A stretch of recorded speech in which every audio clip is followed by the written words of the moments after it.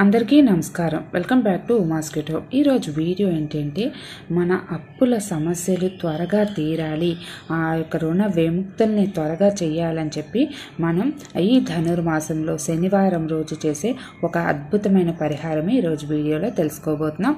మనకు కావాల్సిన వస్తువులు నాలుగే నాలుగు వస్తువులండి. ఈ వస్తువులతో మనం ఏ విధంగా మనం సులభంగా పరిహారాన్ని చేసుకోవచ్చు. అలాగే ఆ యొక్క కలియుగ ప్రత్యక్ష దైవమైన ఆ వెంకటేశ్వరుని కృపా కటాక్షాలు ఏ విధంగా పొందొచ్చు అనే విషయమే ఈరోజు వీడియోలో తెలుసుకోబోతున్నాం.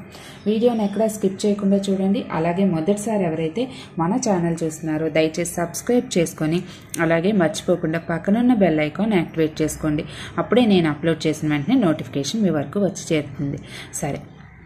నేను ఈరోజు ఒక చిన్న విషయం మీతో షేర్ చేసుకుంటున్నాను. నేను నిన్న వీడియోలో వీడియో అనేది పెట్టాను. పెట్టినప్పుడు ధనుర్మాస విశిష్టత అది పెట్టాను కదా. అందులో చేయవలసిన ఒక విషయం గురించి కూడా చెప్పాను. అంటే పెళ్ళి కాని యువతి యువకులు ఈ చిన్న రెమెడీ పాటిస్తే తప్పకుండా త్వరలో పెళ్ళి అవుతుంది పెళ్ళి కుదురుతుంది అందు వాళ్ళు సుఖంగా ఉంటారని చెప్పేసి చెప్పాను. అయితే అదేంటి అంటే ద్వారలక్ష్మి పూజ. ఒక్కరు నన్ను అడిగారు ఎక్కడో ఒకళ్ళు ఉంటారు కదండి? అంటే నేను చెప్పిన మంచి విషయాన్ని గ్రహించండి. అందరూ అందులో మనం ఎప్పుడూ కూడా ఏదైనా పని ఎవరైనా చెప్పినప్పుడు మనం దాన్ని విశ్లేషిస్తూ పోతే అందులో మనకి చాలా తప్పులు కనిపిస్తూ ఉంటాయి. మనం అది ఫాలో అయితే నమ్మకంతో ఫాలో అయితే మంచి రిజల్ట్ మాత్రం తప్పకుండా వస్తుందండి. ఏదైనా సరే నేను ఖచ్చితంగా చెప్తున్న నమ్మకంతో ప్రయత్నిస్తే మనం తప్పకుండా అందులో సక్సెస్ అవుతాము. ఈ మంత్రంని ఈ సక్సెస్ మంత్రాన్ని నేను తప్పకుండా పాటిస్తూ ఉంటాను. అదే మీకు చెప్తూ ఉంటాను.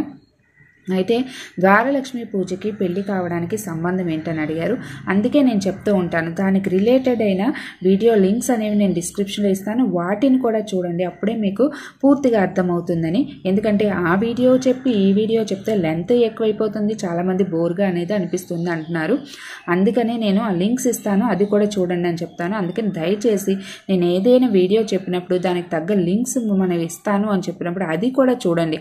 అప్పుడే నేను చెప్పిన విషయం పూర్తిగా అర్థమవుతుంది. మన ఛానల్లో ఒకటి రెండు కాదండి వన్ పాయింట్ టూకే అంటే పన్నెండు వందల పైనే వీడియోస్ ఉన్నాయి మన ఛానల్లో. అంటే చూడండి నేను చెప్పిన ప్రతి విషయం మనం నిత్య జీవితంలో మనం చేసే ప్రతి విషయం మన ఛానల్లో ఉంటుంది. అందుకని దయచేసి ఒకసారి చూడండి మీకు బోర్ కొట్టించుంటే సారీ అండి. సరే ఇప్పుడు మన వీడియోలోకి వెళ్ళిపోదాం. మనం ఒక్కొక్కసారి జీవితంలో చేసే అప్పు ఏమవుతుందంటే మాది తీరకపోగా మళ్ళీ మళ్ళీ అప్పులు చేసే పరిస్థితి అనేది మనకు వస్తూ ఉంటుంది.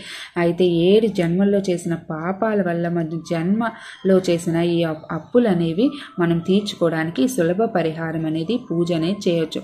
అది ఏంటి అంటే ధనుర్మాసం అనేది చాలా విశిష్టమైన మాసం. ఈ మాసంలో మనం ఆ యొక్క లక్ష్మీనారాయణలు పూజించినట్టయితే మన పుణ్యము వస్తుంది మన కోరికలు తీరిపోతాయి. ఆ క్రమంలో మనం మన అప్పులు తీర్చడానికి చిన్న పరిహారం వల్ల మనకి ఆ యొక్క అవకాశాలు అనేవి మెండుగా ఉంటాయన్నమాట. మనకి అప్పులు తీర్చుకోగలిగే ఆ ప- పరిష్కారాలు అనేవి మనకి ఎక్కువగా కనపడతాయి. ఇది ఎప్పుడు చేయాలి అంటే శనివారం రోజు మనం బ్రహ్మముహూర్తంలో చేస్తే చాలా విశేషం. అయ్యో రోజు శనివారం అయిపోయింది కదండి అని అనుకోకండి. నెక్స్ట్ ధనుర్మాసంలో వచ్చే శనివారాల ఏదో ఒక శనివారం మీరు స్టార్ట్ చేయొచ్చు. స్టార్ట్ చేసి పూజ అనేది చేయొచ్చు. నేను ముందుగా ఎందుకు పెట్టానంటే ఈరోజు నెక్స్ట్ వీక్ పెట్టొచ్చు. కానీ ఎందుకు పెట్టానంటే మీకు గుర్తుంటుంది రిమైండర్ పెట్టుకొని లేదంటే ఇది డౌన్లోడ్ చేసి ఉంచుకోండి. సరే మనకి దీనికి ఎక్కువ కూడా ఖర్చు పెట్టాల్సిన అవసరం లేదండి. ఏంటంటే మా ధనుర్మాసంలో వచ్చే శనివారం రోజు ఇది చేయండి. ఇది ఎప్పుడు చేయాలి? బ్రహ్మముహూర్తంలో ఉదయం ఐదు గంటలకి మనకి ఈ ధనుర్మాసం అంతా పోతే దేవాలయాలు అది ముఖ్యంగా ఈ యొక్క విష్ణు ఆలయాలు ఉదయాన్నే తెరిచేస్తారు. అందుకని ఉదయం సూర్యోదయానికి ముందే చేయండి. చేసి అయ్యో ఈ శనివారం చే మిస్ అయ్యామనుకుంటే మళ్ళీ వచ్చే శనివారాలు కూడా మీరు చేయొచ్చు. అయితే చే చేసేటప్పుడు ఉదయాన్నే లేచి శుభ్రంగా స్నానం చేసేసి ఇంట్లో పూజ గదిలో చక్కగా దీపం వెలిగించేసి మీరు పూజ చేసుకుంటారు కదా నిత్య పూజ ఆ విధంగా చేసుకున్న తర్వాత మనం ఏం చేయాలంటే ఇలా ఒక ఎల్లో కలర్ క్లాత్ తీసుకోండి. పట్టుదైతే ఇంకా చాలా అద్భుతమైన రిజల్ట్ వస్తుందండి. ఇక దాని గురించి అయితే నేను చెప్పాల్సిన అవసరం లేదు. పట్టుదైతే మాత్రం చాలా మంచి రిజల్ట్ వస్తుంది. లేదు అనుకుంటే ఒక కాటన్ వస్త్రమైనా తీసుకోండి కొత్తది తీసుకోండి. తీసుకున్న తర్వాత దీంట్లోకి మనం ఏమి చేయవసరం లేదండి. ఇందులోకి ఒక రెండు యాలకులు. మహాలక్ష్మీదేవికి చాలా ప్రీతికరమైనవి ఈ ఆలికలు అనమాట ఈ యాలకులు అనేవి రెండు వేయండి ఎక్కువ వేయాల్సిన లేదు రెండు వేయండి అయితే రెండు వేసే ముందు మనం ఏం చేస్తామంటే దీంట్లో ఒక తమలపాకు అనేది పెట్టండి. ఈ విధంగా తమలపాకు చక్కగా ఉన్నది అందంగా ఉన్నది. అంటే అందంగా అంటే క్లీన్గా ఉన్నది. కన్నాలవి కన్నాలు అవి లేకుండా ఎండిపోయినట్టు లేకుండా ఉన్నది. శుభ్రమైంది తీసుకోండి. తీసుకొని తమలపాకును పెట్టి దాని మీద ఒక రెండు యాలకులు అనేవి పెట్టండి. పెట్టిన తర్వాత ఇందులోకి కొంచెం పచ్చకర్పూరం. ఎక్కువ అవసరం లేదు. కొంచెం పచ్చకర్పూరం. ఆ తర్వాత ఇందులోకి తులసీ దళం. మీ దగ్గర తులసి దళం ఉంటే తులసీ దళం పెట్టండి. లేదు అంటే బిల్వ దళం ఉంటే బిల్వ దళం. ఈ రెండు ఉన్నాయండి అంటే రెండు కూడా మీరు చక్కగా ఇందులో అనేది పెట్టుకోవచ్చు. ఇవేనండి మనకు కావాల్సినవి. ఎక్కువ ఏమేమి కూడా మనకి అవసరం లేదనమాట ఇవే చాలు. మన యొక్క కోరికల్ని ఆ యొక్క వెంకటరమణమూర్తి అదే వెంకటేశ్వర స్వామి వింటారండి మన కోరికను అనేది. అయితే ఇది ఇలా చేసుకున్న తర్వాత మన పూజ గదిలో పూజ చేసేసుకుంటాం కదా మనం పూజ అంతా చేసేసుకున్న తర్వాత దీన్ని పట్టుకొని మనం ఏం చేయాలంటే దగ్గరలోని విష్ణు ఆలయానికి వెళ్ళాలి. విష్ణు ఆలయానికి వెళ్ళాలి. వెళ్ళినప్పుడు ఈ యొక్క ఈ విధంగా రెడీ చేసుకున్నాం కదా మనం. ఈ విధంగా రెడీ చేసుకున్న దాన్ని ఈ విధంగా మనం ఫోల్డ్ చేసేయండి దీన్ని.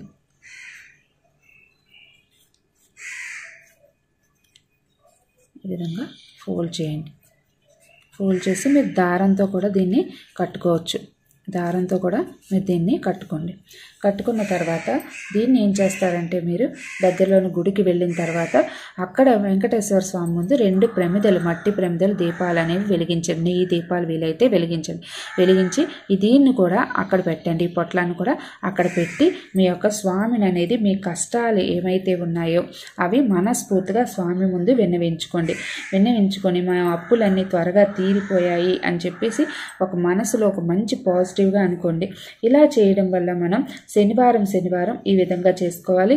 ఇది ఎప్పుడైతే మనం చేతిలో పట్టుకొని ఆ స్వామి ముందు మనం మనసారా వేడుకుంటామో తప్పకుండా మనకి ఈ అప్పులు తీరే మార్గాలు పరిష్కారాలు అనేవి మనకు కనబడతాయి. అలాగే ఆ వెంకటేశ్వర స్వామి స్వయంగా వచ్చి చెప్పినా కూడా మనకి ఆశ్చర్యపోవడం అవసరం లేదు. అంటే వెంకటేశ్వర స్వామి డైరెక్ట్గా వచ్చేయడం అంటే డైరెక్ట్ కాదండి. ఈ కలియుగంలో దేవుళ్ళు అనేది డైరెక్ట్గా రారు కదా. ఎవరో ఒక మనిషి రూపంలో ఎవరో ఒక విధంగా మనకి ఆ సమస్యకు అనేది పరిష్కార మార్గాన్ని చూపిస్తాడనమాట ఆ వెంకటేశ్వరుడు.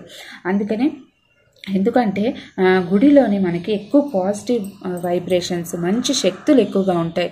ఆ శక్తులు ఎక్కువగా ఉన్న ప్రదేశంలో మనం కోరిన కోరిక ఏదైనా సరే తప్పకుండా నెరవేరుతుంది అనమాట ఈ విధంగా మనం చేయడం వల్ల మనకి రెట్టింపు ప్రయోజనం అనేది కలుగుతుంది. గుర్తుంచుకోవాల్సింది ఇది బ్రహ్మముహూర్త సమయంలోనే మనం చేయవలసిన అవసరం ఉంది. ఆ తర్వాత జాగ్రత్తగా ఇది ఇంటికి తీసుకొచ్చి మీరు డబ్బులు ఎక్కడైతే దాచుకుంటారో ఆ ప్రదేశంలో పెట్టుకోండి. పెట్టుకున్న తర్వాత ఏం చేస్తారంటే మళ్ళీ శనివారం. ఇప్పుడు ఈ శనివారం పెట్టానుకో మళ్ళీ వచ్చే శనివారం దీంట్లో ఉన్న వస్తువులన్నీ తీసి ఏదైనా మొక్క మొదట్లో అనేది వేసేసి మళ్ళీ ఇందులో మళ్ళీ కొత్తగా వస్తువులను పెట్టి మళ్ళీ గుడికి తీసుకొని వెళ్ళి మళ్ళీ ప్రార్థన చేసి తీసుకొని వచ్చి మీ డబ్బు పెట్టెలో అనేది దాచుకోండి. ఈ విధంగా చేయడం వల్ల మనకి త్వరగా అప్పులు తీరే మార్గాలు అనేవి మనకు కనబడతాయి. ఈ కలియుగంలో ప్రత్యక్ష దైవం ఎవరు? సూర్యనారాయణమూర్తి అలాగే ఆ కలియుగ వెంకటేశ్వరు ఇవి ఇద్దరిని ఎప్పుడైతే మనం ఈ కోరుకుంటామో అందులో మనకి తప్పకుండా మనకి ఒక మంచి దారి అనేది కలపడుతుంది. మన అప్పులు రుణ సమస్యల నుండి త్వరగా బయటపడగలుగుతాం. అదండి ఈరోజు వీడియో. నాకు తెలిసిన విషయం మీతో షేర్ చేసుకున్నాను. ఈ వీడియో నచ్చితే కనుక తప్పకుండా మన ఛానల్కి ఒక లైక్ చేయండి.